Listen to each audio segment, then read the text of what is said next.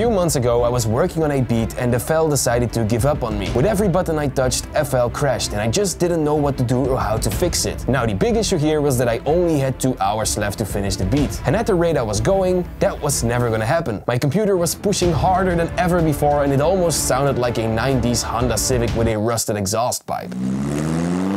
I had to come up with a solution really fast and I kept looking what was wrong with my computer. Then suddenly I only had one hour left and I kinda started to panic. Well, it's a good thing I didn't give up because I found the issue and today I will share some of the best tricks to make FL Studio run as fast as a horse.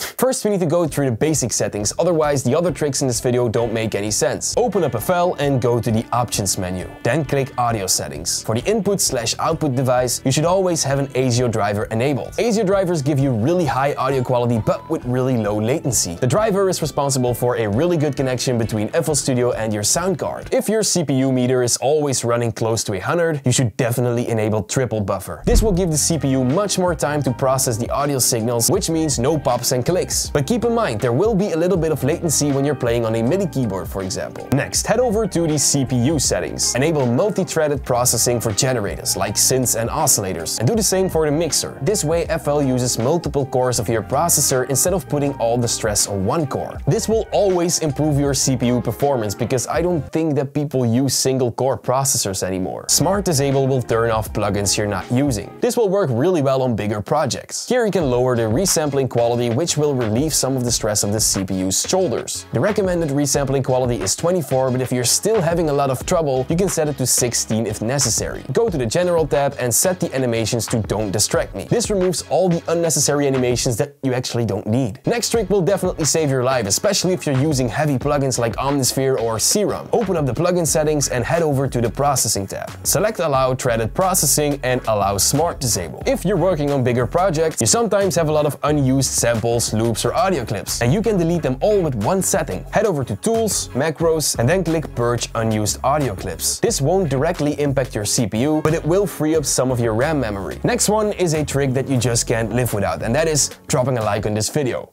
No, just kidding. When you have 5 or 6 melodies and you want to put a light reverb on them, you need to add reverb to the mixer tracks, right? No, please don't stop, st stop it.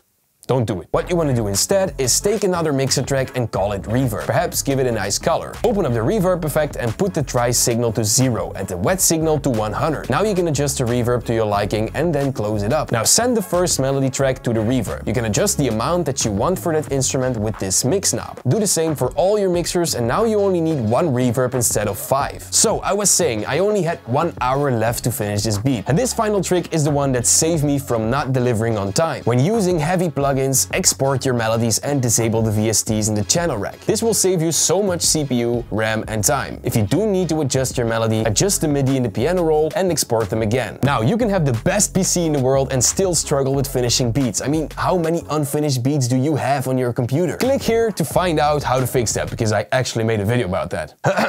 Gotta go now. Goodbye.